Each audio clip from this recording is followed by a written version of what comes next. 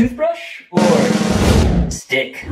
What? ubwo umwana w'umukobwa ufite imyaka makumyabiri wo muri somaliya witwaga zahara yavuze ijambo ritazibagirana uwo ari we wese wari uhabaye uyu mukobwa akaba agaragara mu gitabo cyanditswe n'umudokiterikazi witwa sheikhat bint muhammad al qasim igitabo cyitwa salihatu araftuhun bisobanuye abeza mubo nigeze menya. Uwo mudokiteri aratubwira igihe nari nicaye ndi kumwe n'abana b'abakobwa turi kuganira ku byerekeranye n'imvugo z'intumwa y'imana muhammadin sallallahu alayhi wasallam nuko havamo umwe mu bakobwa agenda asangiza bagenzi be uturyohera cyangwa se bombo. Yakomeje kubasangiza ageze ku mwana w'umukobwa zahara. Zahara yanga gufata ibiryohera agira ati birambuza gukora adkar umukobwa nawe arahatiriza aramubwira ati dufate turaza kugufasha guhumuza mu kanwa ndetse no kugagura mu kanwa. Hanyuma umwana w'umukobwa nawe aragira ati wari misiwake ese siwake yo ikora iki?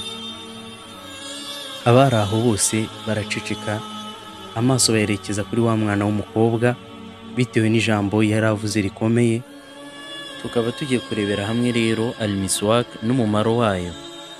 Miswak ni agati abayisilamu bifashisha mu menyo no mu gusukura akanwa. Bakaba barakifashishaga mu myaka irenga igihumbi magana ane ishize kugeza n'ubu.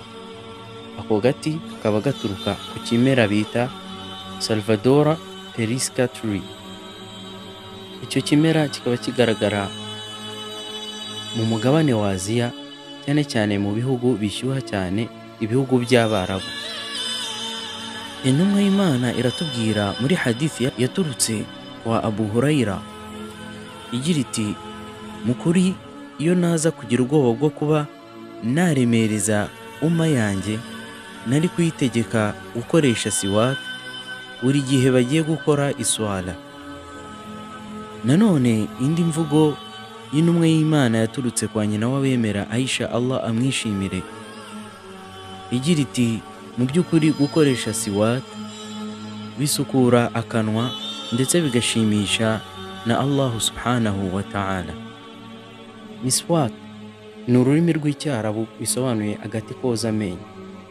Iyi miswak ikaba yarifashishwaga n'abatubanjirije beza mu gukora isuku no mu koza amenyo yabo. Bagambiriye kwishimirwa n'uwiteka allahu subhanahu wa ta'ala. Nk'uko babitegetswe n'intumwa y'imana amahoro n'imigisha bimusakareho. Muri iyi videwo turaza kurebera hamwe akamaro n'ibyiza bigera mu icumi bya siwak. Byagaragajwe n'abahanga mu bya siyanse mu bijyanye n'isuku n'ubuzima bwa muntu.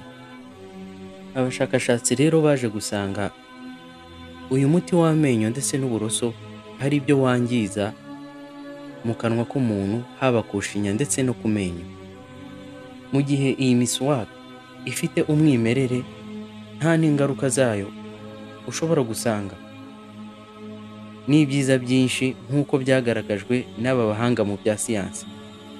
Icya mbere baje kubona nyuma y'uko bakora ubushakashatsi baje kugaragaza ko abantu bakoresha siwak bibatera kurangwa n'akanyamuneza muri bo.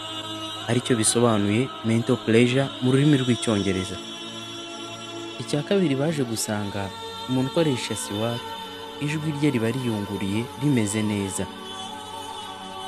Kuruta wa wundi utayikoresha.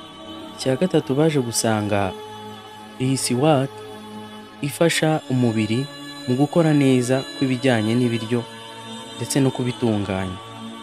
Aricyo bita digestive system mu rurimi rw'icyongereza.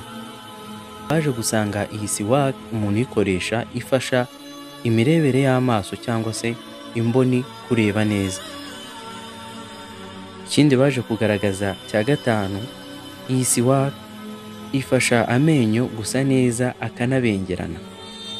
Kandi umuntu uyikoresha agira impumuro nziza mu kanwa. Inafasha n'ubwonko gukora neza. Cyane cyane igice cy'ubwonko bwibutsa.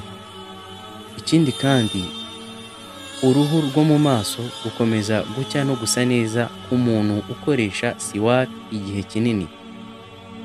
Abamenyi bakomeye mu dini ya isilamu bakaba batugira inama y'uko umwemeramana haba umugabo cyangwa se umugore yakagombye kurangwa n'iyi suna nziza yo gukoresha umuswaki mu rwego rwo gushimisha uwiteka allahu subhanahu wa ta'ala bakomeza guha ubuzima imigenzo y'intumwa y'imana muhammadin sallallahu alayhi wa sallam ndetse bikaba intandaro y'uko bagenzi babo babigiraho.